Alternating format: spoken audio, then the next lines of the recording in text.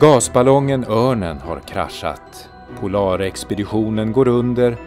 De där hemma undrar och våndas. 33 år senare hittar man de djupfrysta kvarlevorna. Vad hade hänt? På Gränna museum finns expeditionens dagböcker, fotografier och till och med vad de hade på sig. Här berättas även om Amalia som skapade Grännas berömda polkagrisar. Och här finns troféer i en skattkista som öppnas med ett lösenord. Ledtrådar finns i en bildgåta som du får fram genom att svara på frågor. Vad är det här för flagga? Och vad är det här för en medalj? Vem var först till Nordpolen? Vad heter fågeln?